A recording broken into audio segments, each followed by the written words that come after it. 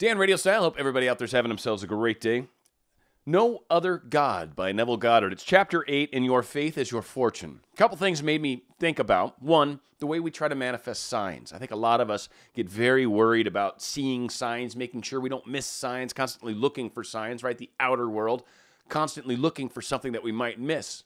And one of the things that happens when we do that is by looking for signs, we tend to miss things. We tend to miss other important things. Maybe not signs, but certainly maybe paths in the road, right? Maybe debris in the road, right? get out of the way of that thing that's about to hit you or that cyclist that's over there, right? Sometimes by looking for everything else, we're not paying attention to what really matters.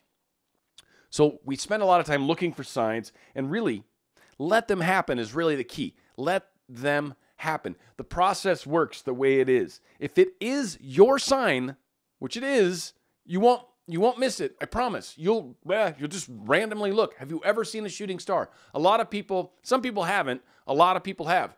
For a shooting star to be visible, you have to look in the precise place in the freaking sky at the precise exact moment that that thing's like burning up and gone, gone. Milliseconds that it exists in view. To see a shooting star, it signifies perfection and timing. I think it's one of the reasons they happen. To be totally honest with you, it proves how weird that you could just randomly look in a weird direction and see a freaking shooting star. Because I was looking over there. Now, it is cool when you happen to be walking in the direction that one happens, but then think of the way that plays out. Things happen perfectly. Don't go around looking for shooting stars because you know what? You're going to have a sore neck by the freaking end of the day. Don't worry about it. You'll see one. Say, I'd like to see a shooting star, and a shooting star will happen. So, a lot of us are looking for signs everywhere, and we're missing signs everywhere. One other key thing that comes out of this, fortunately, it's a shorter chapter, but one other really key thing that comes out of this is the concept of the beggar. The beggar's the person that is always looking to the outer world for the handout, right? Looking out to everything else to give me. But a lot of us have our hand out to the world and we don't realize no, no, you you make that. It comes the other way. Someone's just going to walk up and hand it to you. You don't you don't need to put your hand out as a beggar. Relax, sit back. It's going to be just given to you. Watch. You're creating it outward, bounces back. It bounces off the little bouncy thing and it comes back at you tenfold, they say. I don't know. I haven't tried to measure it, but tenfold, right? Supposedly a lot more. It does, truly. If you send good stuff out, good stuff comes back and it's generally magnified. So bow, wow, wow, wow, wow, and it comes back at you there's your, there's your money. Someone handing you a check, someone handing you a job, someone handing you some means of creating income rather than being out there and going, give me. You could actually be like, no, I just sent it out. It's coming. Checks in the mail. Bam. Thank you very much. So that's kind of how this one plays out. No other God. I mean, the whole book is into the I am thing, right? This whole book is fantastic. So I'm, I'm not trying to get out of the sink of it because the I am concept, your consciousness, everything's created from inside. It's what Neville's talking about so far. Here we are, chapter 8. And I'm pretty sure the dialogue, spoiler alert, continues in the same direction. So here we go. There's a couple quotes from one from Isaiah chapter 44, verse 6. I am the first and I am the last, and beside me is no God. So Goddard starts and continues Thou shalt have no other God beside me. As long as man entertains a belief in a power apart from himself, so long will he rob himself of the being that he is. Every belief in power apart from himself, whether for good or evil, will become the mold of the graven image worshipped. Meaning, when we look to outer and look to see what's going on out there and then make decisions about who we are, we're doing it backwards. We're deciding what we are relative to what we just created. So I just created this thing, and then now I'm saying, well, this is you forever. Kind of like a tattoo. but you can't actually remove those, right? But again, I'm putting this graven image out there. I've put this power on this thing, this person. If they don't like me, if they don't like me, if they don't like me, something's going to happen, right? Or if I can't get this job at this company, or if I can't get my boss to like me, or if I can't get Joe to talk to me, right? Like we put all this power outside of ourselves. And instead of realizing that the discussion with Joe, or that better behavior with the boss, or that new job, or that whatever the heck the first thing was I said, all of those things come from within ourselves. when we worship the idol, we, we're looking out before we look in, right? After it's created is the wrong time to look to the creator. You can't say, after it's been created, I will never make anything good again. Well, what do you mean? Like, well, this is magnificent, right? So make another thing. Like, I bet you could make another thing. It's even better. No, that's impossible. It's the most magnificent thing ever. Well, try again. Who knows, right? It could happen. The beliefs in the potency of drugs to heal, diets to strengthen, monies to secure, are the values or money changers that must be thrown out of power. He can then unfailingly manifest that quality. This understanding throws out the money changers temple. Ye are the temple of the living God. And what agreement hath the temple of the God with idols? For ye are the temple of the living God. As God hath said, I will dwell in them and walk in them, and I will be their God, and they shall be my people. A temple made without hands. It is written, My house shall be called of all nations a house of prayer, but ye have made it a den of thieves.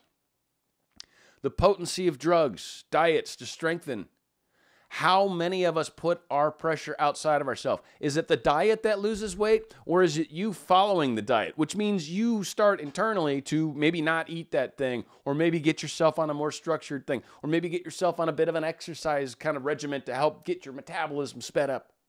Who knows? But it's all those things. But to think that it's the diet that's actually going to save you, it's not the diet. It's not the manifestation technique that creates, that doesn't matter. You could do any number of tech. What technique do you like? That's the one you should do. Keep doing it. Stop listening to other people saying, no, you should try this. Shut up. Don't, ah, right? This works for me. I don't need, if it ain't broke, don't fix it, right? If it's broke, yeah, try some other stuff, man, because that one probably doesn't work for you. And that's how it works. Ah, everybody and their mother be like, oh, this is the way to do it. Watch. And you're like, it doesn't freaking work for me. Try something else, man. You might be that weird population percentage of people that this works better. And you'd be like, oh man, I can't believe the results I've had. So try something else if it's not working. Keep doing what you're doing if it is working. But ultimately, it's not the freaking technique. No, it comes from inside. The technique's meant to inspire a feeling, a thought, a belief, a, a, something that comes from inside that says, This is what's happening. I realize, I realize I play a part in the creation of my reality. That comes from inside. We push it out through whatever mechanism, and we visualize something, and then we have a feeling about it. Some thought pops into our head, and we're like, yes, I totally want to do that. That would be wonderful. And we have a feeling about it. And again, that manifestation process begins. Period.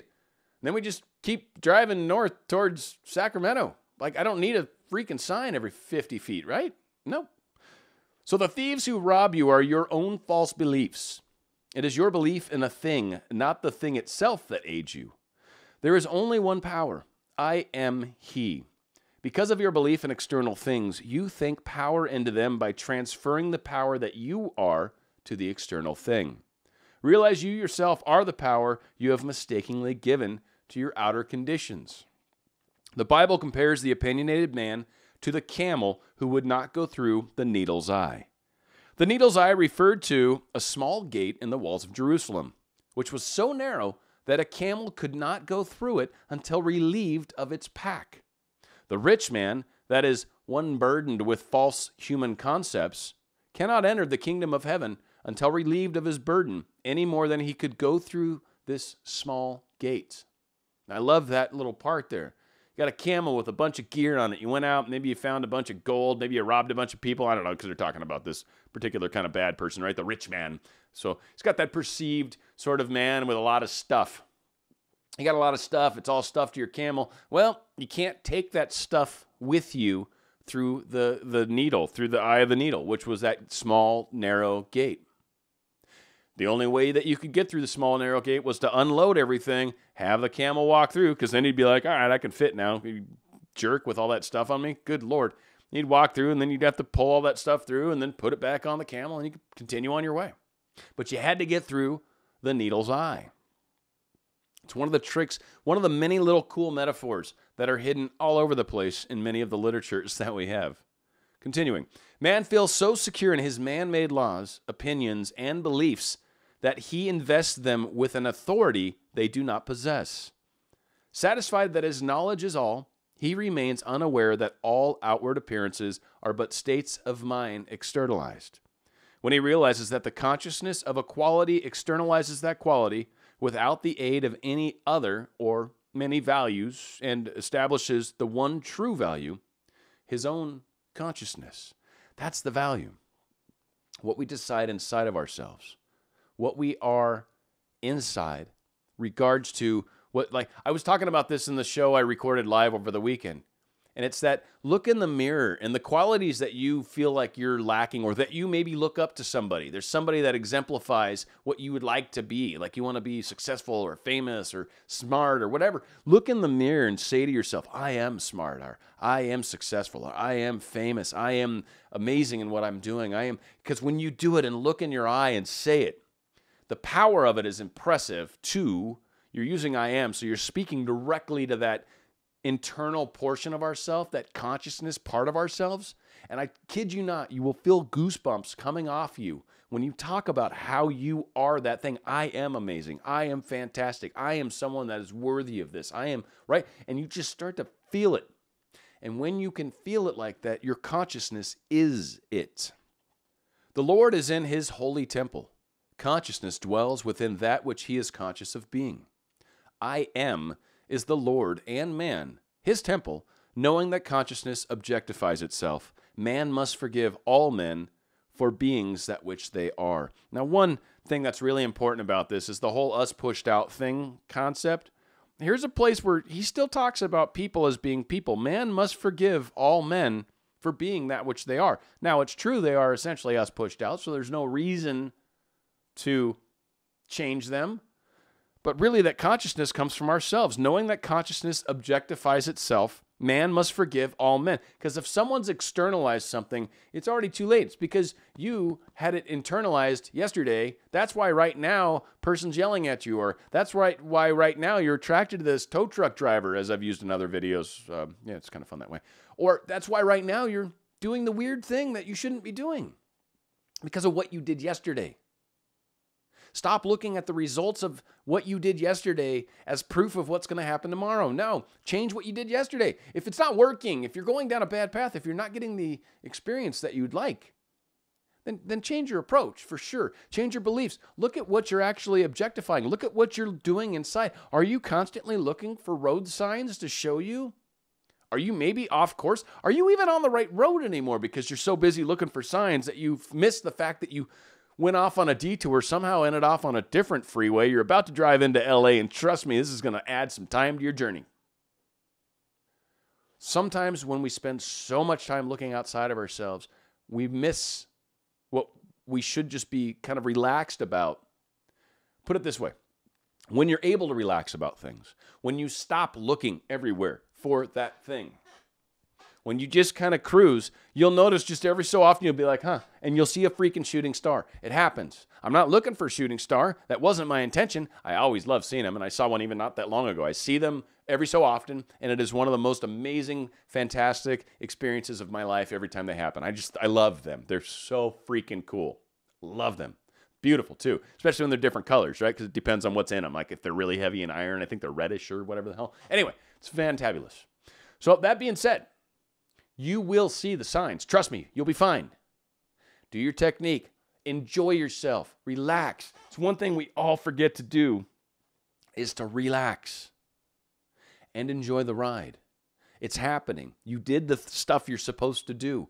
Chill about how many signs you need to see. Just relax and know that you're heading in the right direction. Let it unfold. See the signs when they pop up every 50 miles rather than needing one every single day. And what I mean by that is I should get a text message from them 14 times a day. I need to see their numbers, their names. I need to see the street names. I need to see something that reminds me of them every day. Like that's not necessary.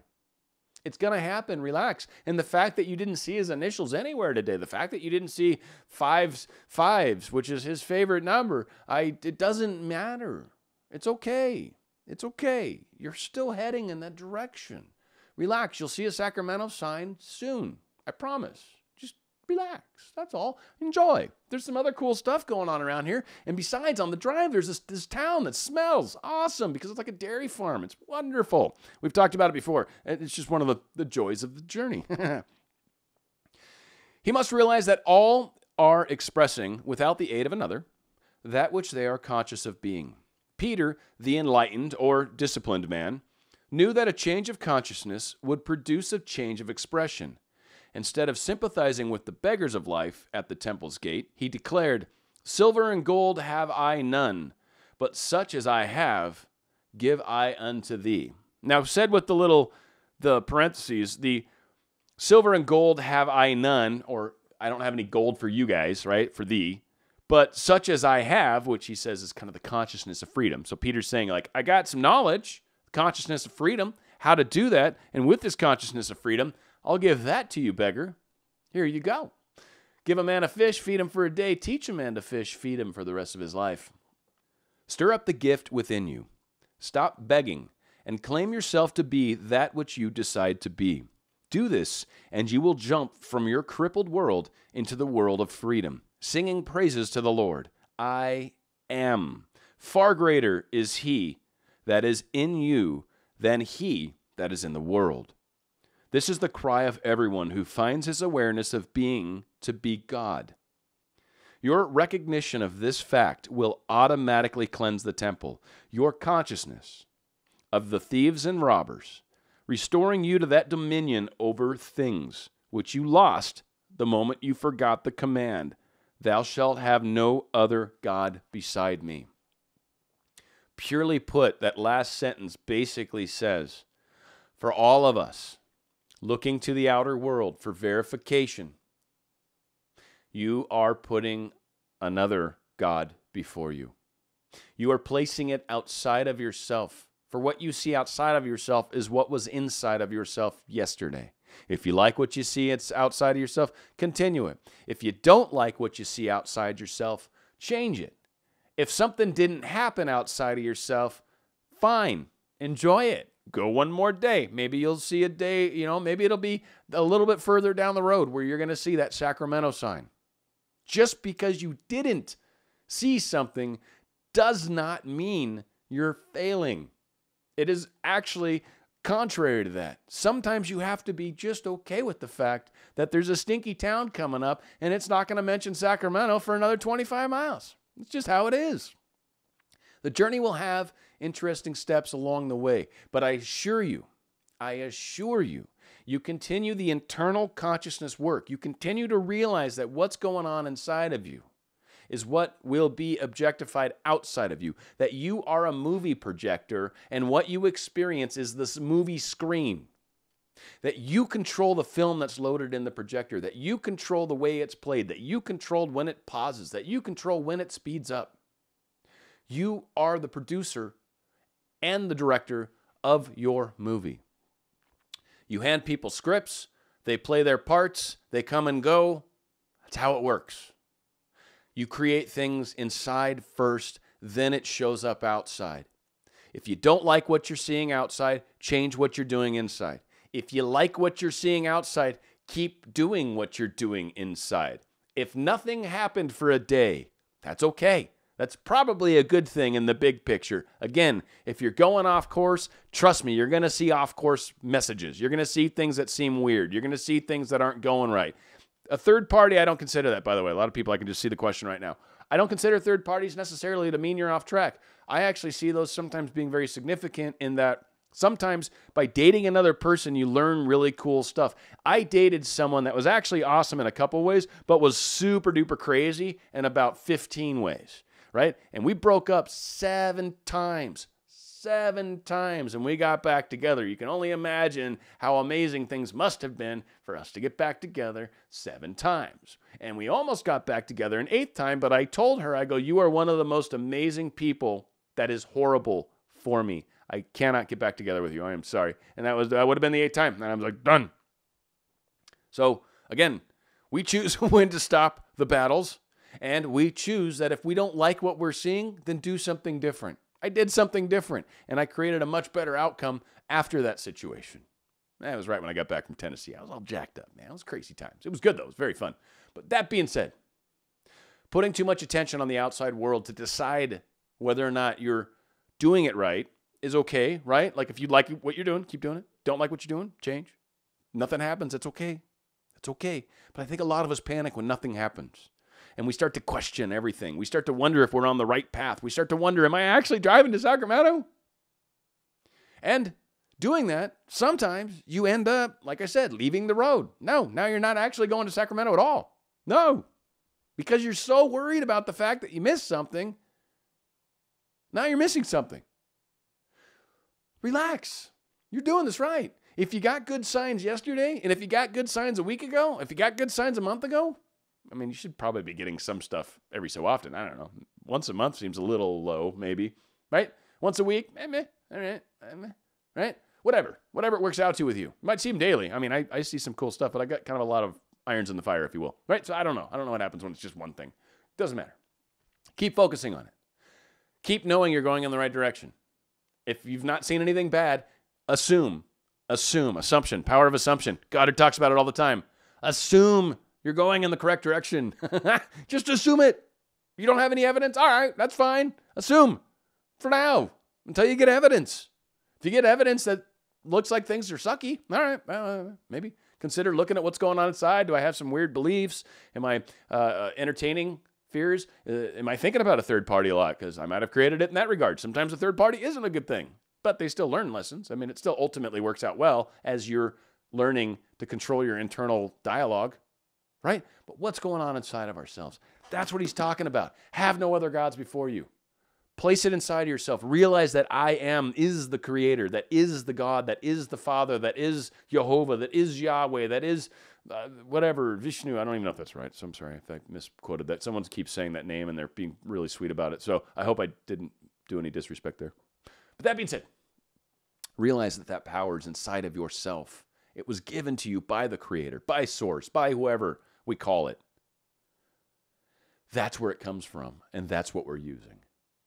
This is your power to use. This is your world to create. If you don't like the way it is, change it. It's up to you. Dan Radio style.